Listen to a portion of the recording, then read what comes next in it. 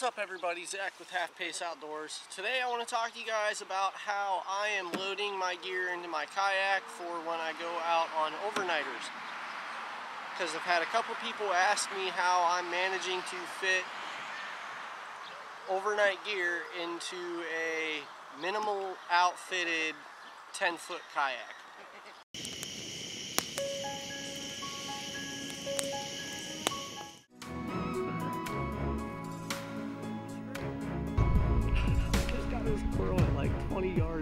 Crossbow. So we all want to know what's wrong with me, right? Right.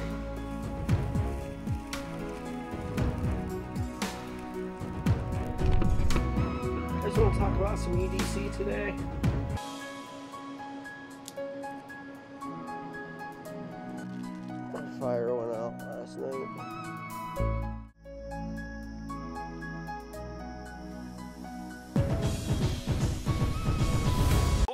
Clip of me loading my gear at the lake as I'm explaining this to you guys. So the first thing I do is I stuff all of my I stuff my food bag all the way up into the front underneath the hull. Underneath the front deck. I stick it all the way up into the front.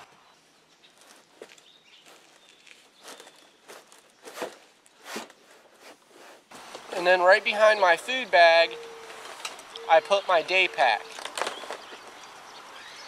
Uh, and my day pack has, you know, my possibles, my first aid, my water bottle, my water filter, the food for the day. Pelicans come with styrofoam blocks beside the seats. Uh, I took mine out. I only weigh 107 pounds, so if it adds any stability, it's not going to make a difference for me.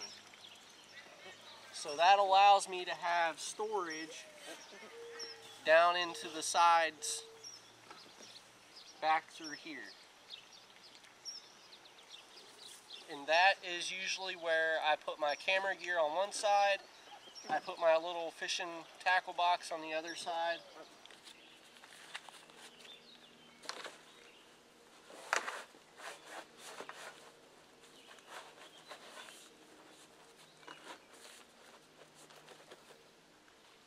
Up in my front hatch is where I put my med kit.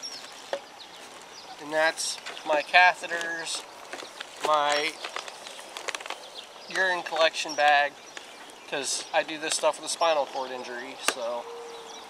That all hangs out in the very front hatch. It's in a dry bag so that if I do get that flooded out, I don't have to worry about my medical supplies getting ruined.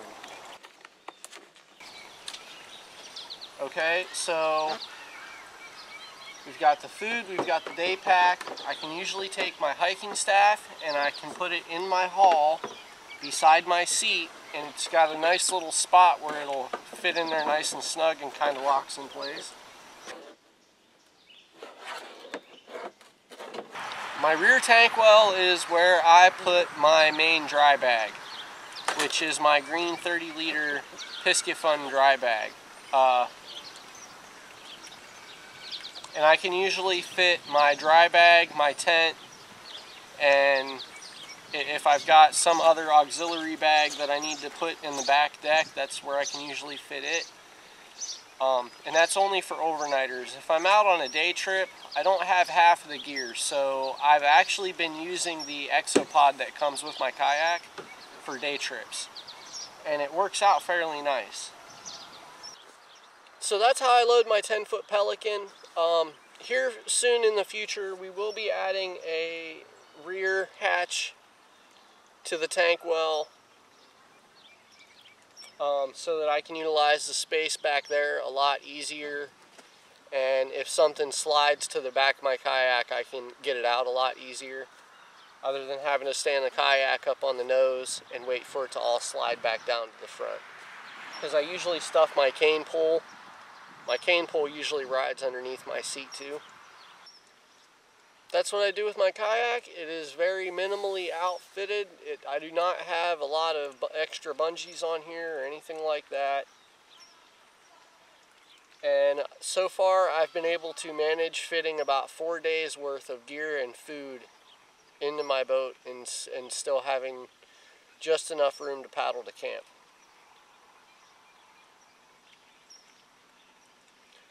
Alright guys, that's going to be it for this one. I will see you next time, and remember, find your way.